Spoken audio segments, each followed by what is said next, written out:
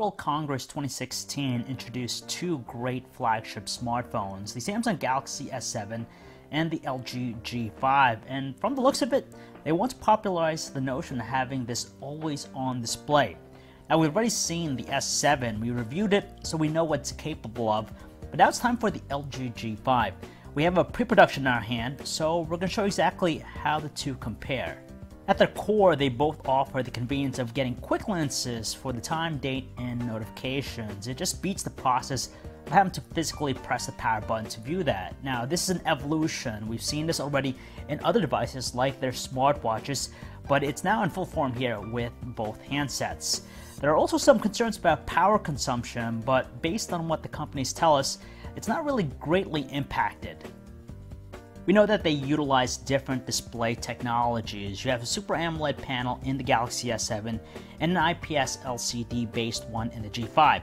Now with the G5, since it is an LCD panel, it means that the whole panel is turned on just to display the relevant information.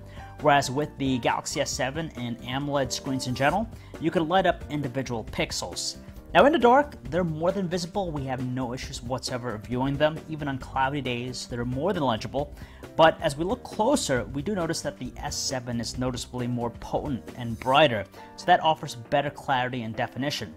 In comparison, the G5 is a little bit more subdued. Still visible, but subdued nonetheless. And when we look at the display in a dark room, we can make out the milky gray color with the rest of the screen. At the core of it all, you're going to be able to view the time, date, and some notification icons directly through the display without having to physically interact with it. That's the neat thing about these always on display features. However, with the G5, it has only one clock style that can't be changed. There is an option for a signature, so you could have your name, some sort of quote, or even a witty remark, but that is it. There's nothing else there. Meanwhile, the S7 just offers a multitude of different styles for the clock, which is nice. And there's even diff uh, different options for the calendar, and you even have the option to choose an image. So overall, you do have more personality with the S7's interpretation.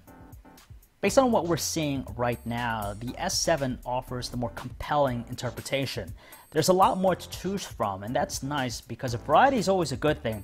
And on top of that, the screen itself is more, it's brighter, more clearly defined, and just more distinctive. And those are just key things that make it stand out.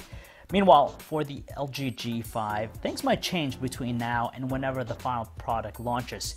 But with this pre-production model that we're checking out here, it still has a lot of work to do before it catches up to what Samsung has already done with the S7.